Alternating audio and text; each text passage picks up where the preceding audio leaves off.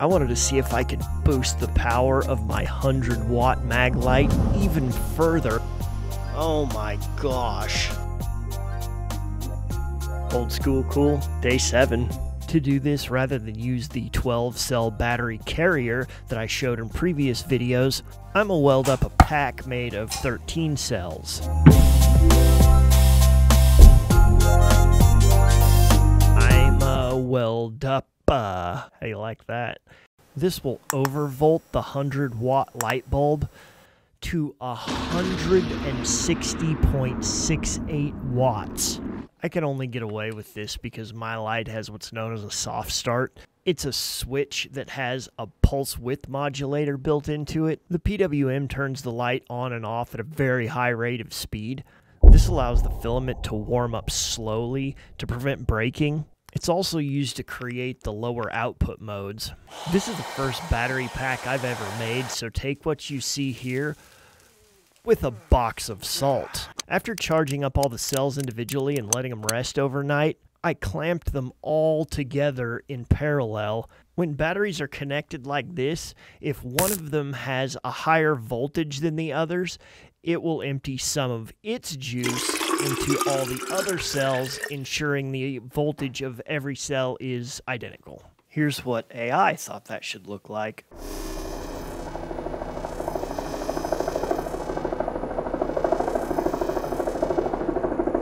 I bought this cheap spot welder on Amazon, and I am great at using it. I know what I'm doing, and things often go my way. I tried some different things like holding the pedal for a certain number of seconds and cranking the power up, but eventually I just settled on doing multiple zaps. This gave me the most consistent results.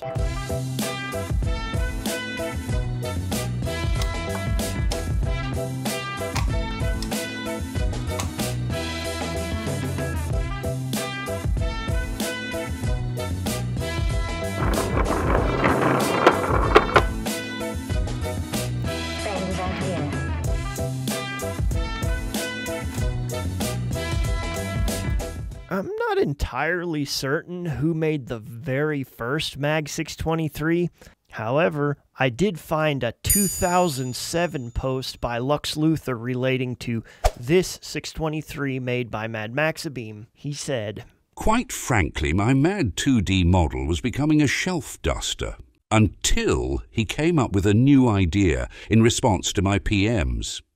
Today I got a new design from Mad Max where the key is having added a 13th battery. I don't know what LuxLuthor put in his, but there are a lot of sharp metal connections crossing over each other at the tail end of this pack, and I don't care for relying on wads of tape. For this reason, I had to make a few components on my lathe in order to stiffen up the tail end of this pack. So to get the pack as rigid as possible, I made a capsule from acetylene brass to house the 13th cell. I made a seat for the spring to snap into and put a hole in the center for a piece of copper wire so the current could flow through that rather than the steel spring.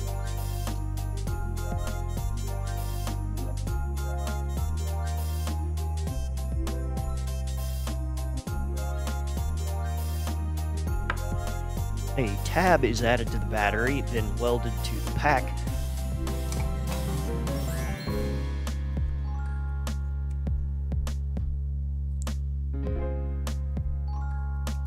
The positive end of the pack is a sawed-off D-cell. Sawed-off. A sawed-off D-cell. A sawed-off D-cell.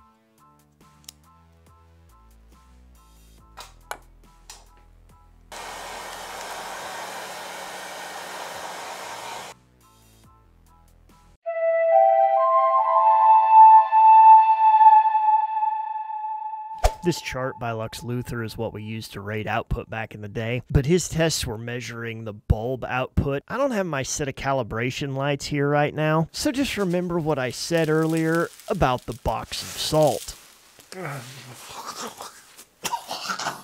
I tested the 12 cell pack and I got 3,144 lumens at peak. The 13 cell pack gave me 4,375. Mag 623 with 12 cell pack, 3 inch 5 mega head.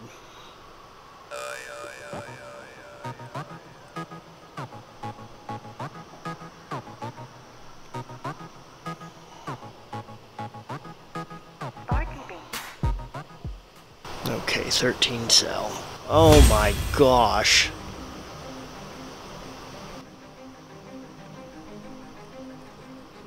That is just beautiful. That upgrade makes such a difference. Wow. Unbelievable. The difference is not just the brightness, but the color of the light is incredible.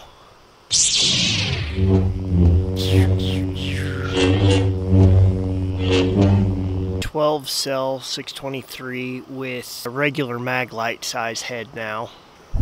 When you drive incandescent bulbs harder, they shift from warmer tints to more neutral, leaving behind the dingier colors like orange and turd brown, and they move up toward the blue spectrum, which appears more white. Now, why don't we compare it to one of my 4200 lumen LED upgrades for Maglite?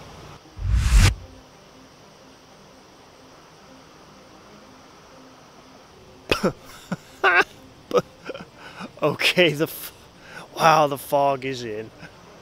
How about we do the 160.68 watt versus a lit match?